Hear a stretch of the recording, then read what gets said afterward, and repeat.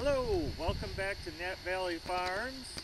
Day, it's uh, Monday, May 8th, and uh, we just went through a very hard freeze last night. Had frost all over the ground. Very late in the season for that sort of thing. So after that hard frost, came out here. Our blossoms are still on the trees. We don't know whether it's going to have killed them off yet or not. We've not experienced this before. But what I really wanted to talk about today is our strawberry patch. So this area we planted last year. We put in about 125 uh, bare root strawberry crowns. Wow, I didn't know it was that much. Yep, uh, three different varieties. And the plan was to try to have strawberries available at lots of different times. And I didn't really make a real careful effort to keep everything in the same spot, just mixed them in together.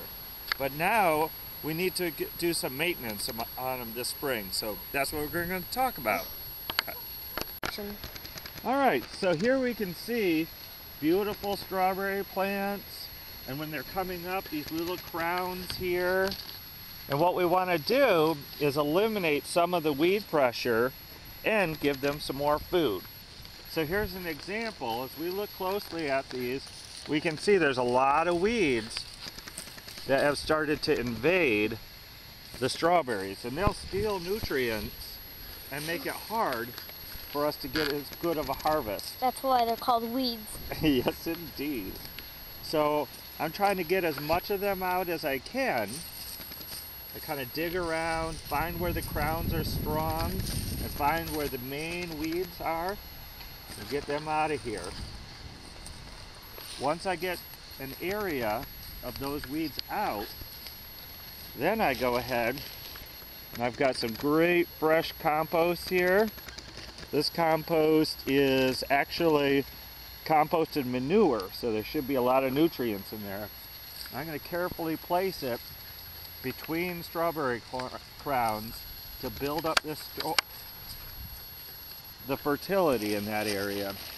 This is a very painstaking, labor-intensive process, but hopefully it'll result in lots of yummy strawberries later on this season.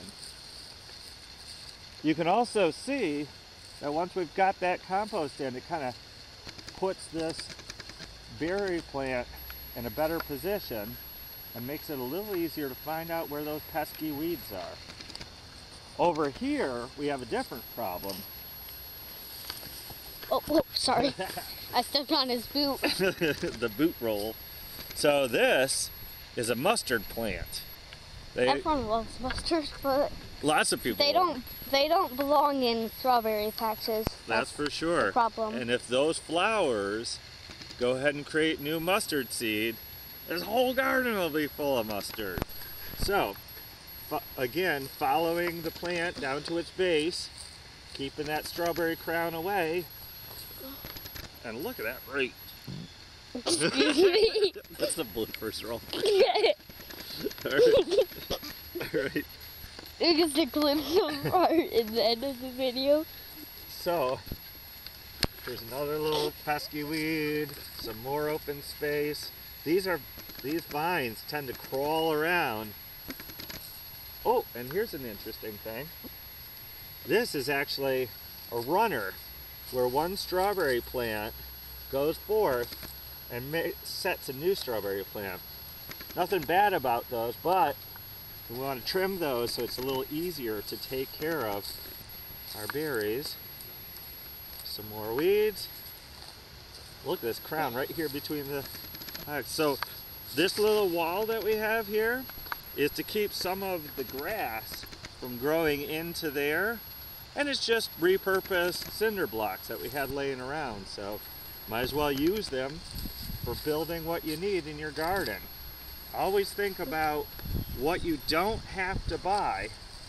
May not look as fancy, but it'll save you money in the garden. And you can buy some more crops. That's right. Or you can buy ice cream.